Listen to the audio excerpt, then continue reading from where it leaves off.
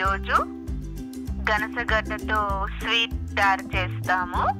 గనసగడ్డని ఇలా కట్ చేసి తీసుకున్నాను. పెద్ద యాలక పొడి బెల్లము.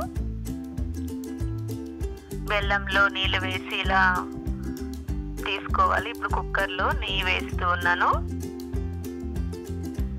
నెయ్యి వేడైన తర్వాత ఇందులో పెద్ద యాలక్కీలు చిన్న యాలక్కి పొడి వేస్తూ ఉన్నాను. కట్ చేసినటువంటి కనసగడ్డ పీసుల్ని ఇందులో వేస్తూ ఉన్నాను. దీన్ని రెండు నిమిషాల కోసం ఫ్రై చేసుకోవాలి. ఒక ఇప్పుడు ఒక గ్లాస్ నీళ్ళు వేస్తూ ఉన్నాను. ఉడికించాలి. మూడు విజిల్ వచ్చేంత వరకు ఉడికించాలి. చూడండి.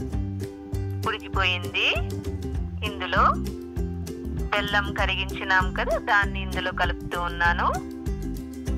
పది నిమిషాలు దీన్ని ఉడికించాలి. చూడండి.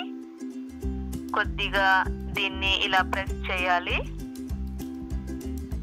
స్మాష్ చేసుకుంటే బాగా ఉంటుంది రెడీ అయ్యింది. సర్వింగ్ బౌల్లో తీసినాను గనసగడ్డల స్వీట్ రెడీ.